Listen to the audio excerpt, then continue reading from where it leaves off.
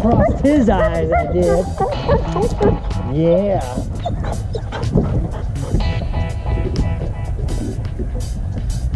Yeah, that's a limit of small ones.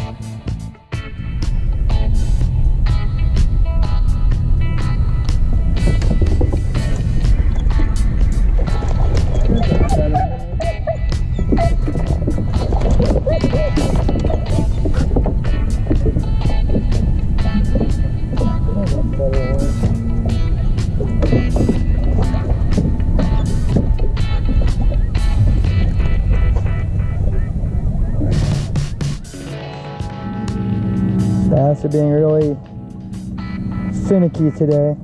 They're picking up and spitting it real quick, light pickup. So I'm using a just a ribbon tail worm. This is a Zoom U-tail.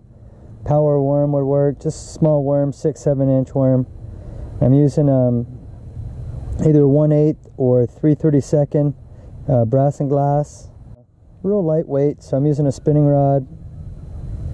I've got uh, 12 pound fluorocarbon with a uni to uni knot uh, to the Power Pro braid.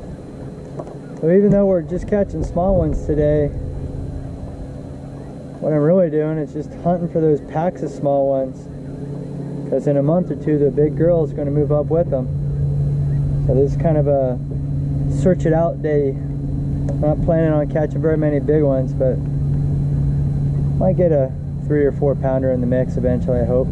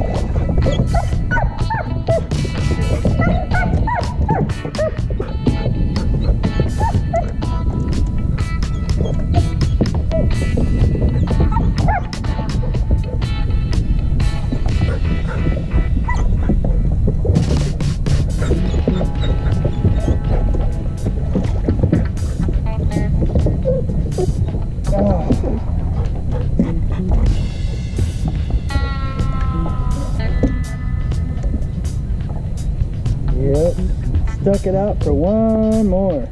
Paid off. Nice one too there.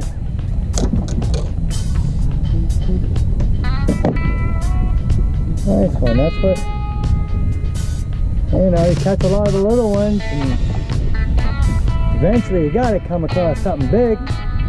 No giant, but I'll take that for a January afternoon. Get it, get it. Oh, that was good. Get it, get it, get it. Atta boy.